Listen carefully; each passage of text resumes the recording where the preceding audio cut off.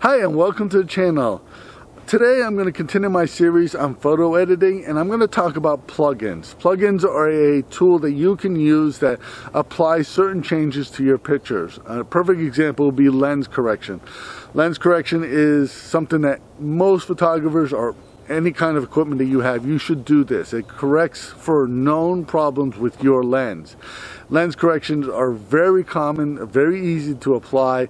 It fixes a lot of simple problems. And the great thing about Lightroom is you can apply that plugin to your photos as you're importing them. So today I'm going to show you how to make a plugin for lens correction. I'm going to show you how to what other plugins come in as default with Lightroom. And I'm going to show you how to apply a plugin to your photos when you import them into Lightroom. So come along and enjoy this adventure.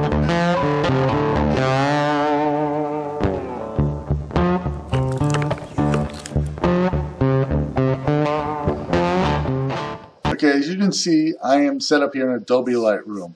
And I have a, this is a California Gull. And I want to apply some presets to this Gull. So what I do is go to develop, develop module. And over here on the left hand side, I have quite a few options here. Go to presets. And the default presets, are the presets that come with um, Adobe, are right here. And if you just hover over them, it will show you what that image will look like with those presets. Now, you can download presets from the internet or plugins. So uh, Adobe has this webpage that you can download um, free Adobe Lightroom presets and tips for nature photography. Now, um, it's pretty straightforward. If you have an Adobe account, you can just download them and um, they're pretty straightforward. I mean, it's really easy. Just click download, unzip uh, them, and put them in a file. Now, to add them to Lightroom, you would click the plus sign, import presets. Now, this is the file that those presets are in there. I select them, hit import, and they simply import into Lightroom. And as with all other presets, if you hover over it, it will show you what that preset will look like. Now, to be 100% fair, these are landscape presets that I'm putting on birds, and they're not very applicable. But this is how you would apply any preset that you want. Now the great thing about presets is you want to see what this effect looks like and how it's done. You would select the preset and you would simply go up here and see what it did or see what this one did. And you can see the changes that were made in the preset. So you could actually go back and do this, adjust those presets, so something that you can have is a preset as a starting off point and then go in and edit it more. Um, the, this is really a useful thing and um, you can really learn a lot by using presets. If you download presets to learn how to edit is a really good tool. Um, again, you should not be dependent on one preset to do everything for you. With that said, there is one exception and that's lens correction.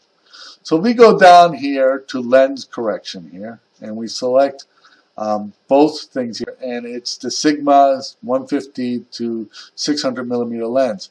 Now I want to make a preset for this so that I can apply this to multiple images and that's the whole idea of presets is something that you can apply to multiple images. If you had a spot on your lens and you want to apply it to 300 pictures this is a great way to do it.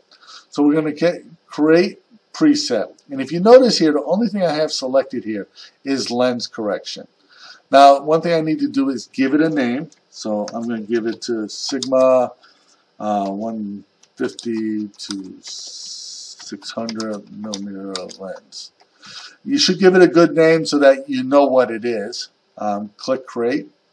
And if you look over here on the left hand side, there's the uh, plugin. So if I go to a, another picture, doesn't have plugin applied, I click on it and it applies that plugin.